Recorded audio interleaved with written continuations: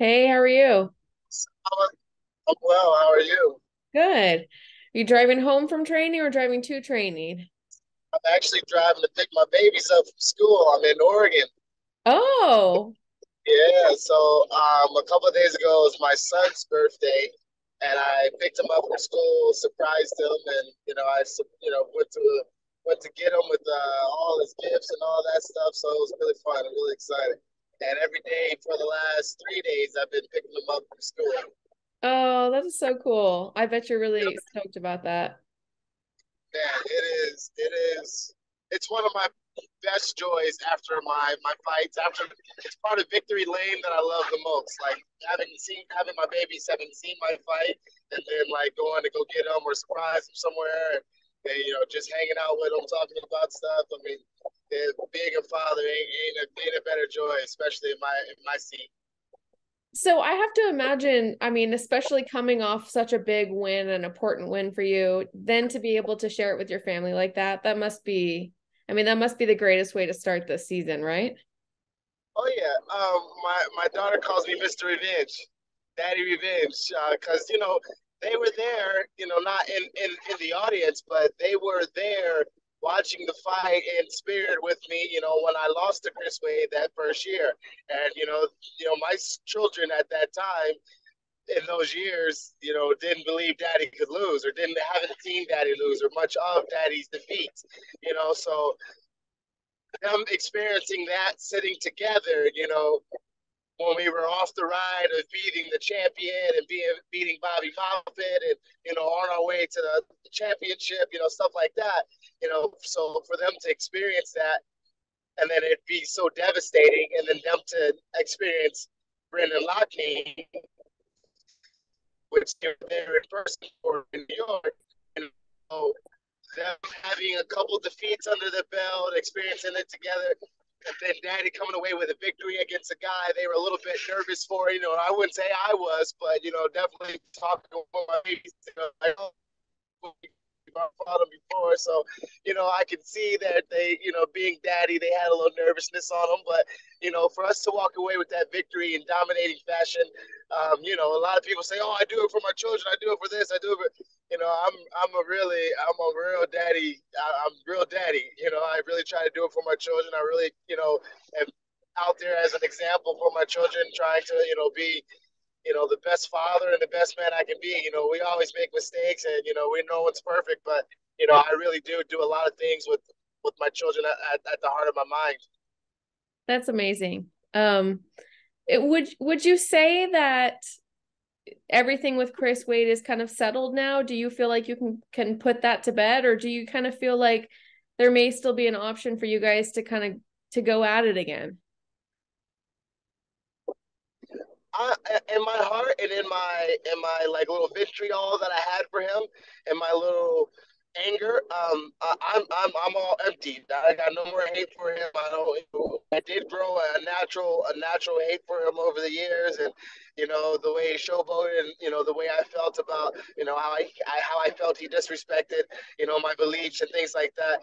I I, I naturally grew a dislike for that man. That you know it, it, turned into a good fuel for me for you know motivation over the years. I I've been on a uh, uh, on a tear since I've lost to him. You know, other than the you know of course the defeat to Brandon Loughnane.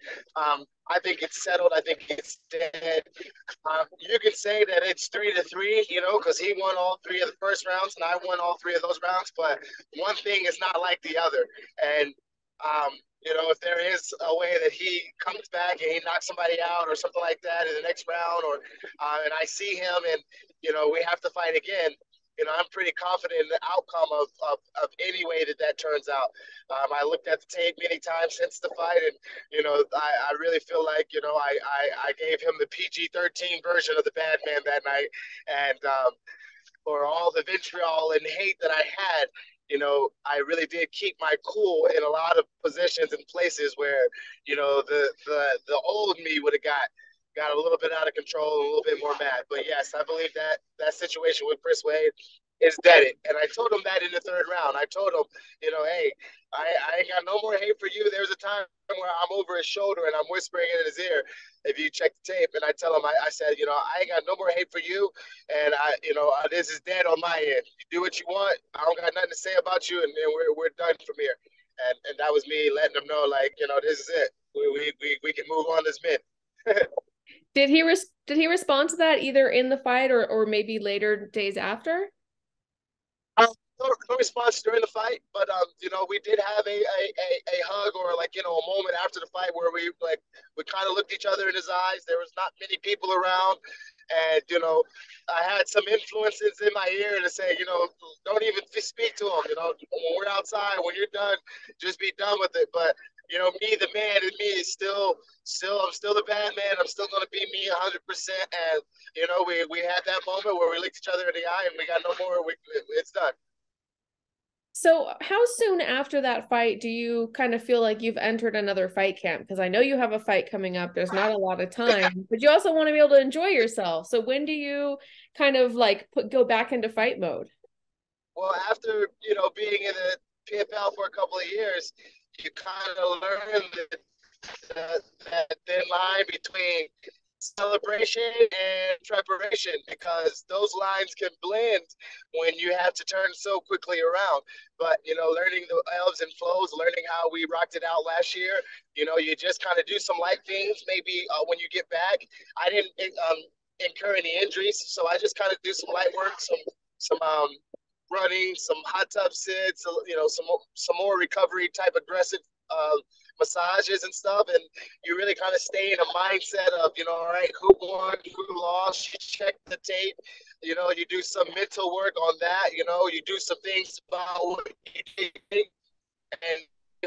You know, a lot of these guys get that victory, and that's the biggest thing that they've ever done, not realizing, you know, that's literally a regular season thing. It's not it's not much. It's a it's a it's a great it's a it's a good foot forward, but these guys are still lively. The guys that lost, and you know, the guys that are fighting. I mean, fights change all the time. I mean, I, so many times in the first season, I was fighting one guy, and it changed or it alternated. And last year, it alternated. And you know, you just got to be ready and stay hungry. And what about this this next opponent? Because you know he was supposed to fight already, but he wasn't medically cleared. Is there any worry that that could happen again? Because that seemed like a sort of a short notice thing. Um, I'm not gonna lie to you. I really do get nervous fighting. Oh, can you see me? Sorry. Yeah, I can see you. Yeah. Um, when it comes to the name that I've been given, Sung Bin Jo, um, I am a little nervous when it comes to his ability to um, show up to a fight or, or get it cleared. I don't know if I spend maybe bash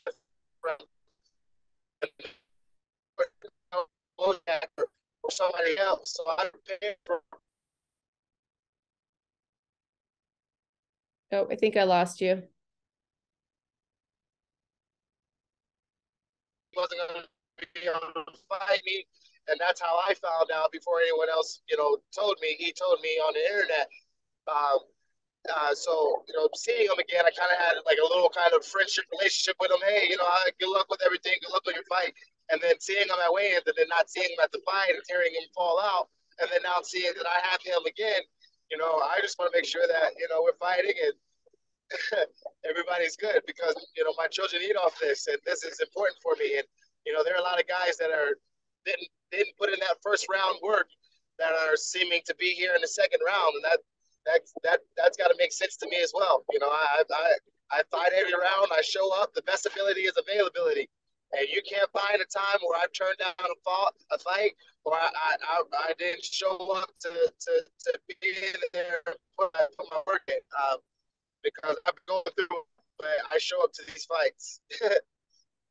and I, I guess my last question for you, um, you know, what sort of fight are you expecting for him? Hope you know, assuming he shows up. what what sort of fight are you expecting from him? Uh, a gamey one, you know. I believe the the points are going to have to make him the points are going to state that he's going to have to get a knockout for him to have an advancement and for him to been on this path for what seems like two maybe three years getting the bad break that happened in uh, April 1st, you know, whatever, I don't know what happened, but whatever happened with that, I, I feel like he's going to come out as far as he's from, you know, Korea, the Korean Falcon. So he's, he's from a place there. Uh, I think he's going to come out guns blazing, trying to knock me out from coming from a far place, coming to Atlanta, having, you know, nothing but a ball back against the wall and, and no choice but to try to knock me out. And him being a taller guy, I'm a, you know, keep my cool, keep my guns hot. And you know how I get down. Whether we got to pull him in the water and drown him or keep him on the sand and, and slow him down, we got to do what we got to do to, to make it to that playoff. And that's what we're to do. Awesome. Thank you so much. I hope you have a, a good day with your your kids. No problem. Thank you so much for accepting this this phone call, this interview while I'm on my way to grab my babies. Oh, no I'll send you a video of the surprise. It was so awesome. But yeah, thank you again. Um, I'm out here in sunny. Well, today it's sunny, but usually it's not. I'm out here in beautiful Oregon for the day. I think I brought the Las Vegas sun with me, and you know, it's a beautiful day to be around some babies and just relax a little bit. Like you said, how do you stay between those fights? It's it's it's filling it up with family, a little bit of joy, a little bit of love, right before you go back to that like that bad man team style. Awesome. Thank you so much. Have a great day. Yep. All right, Amy. We'll see you. Bye bye.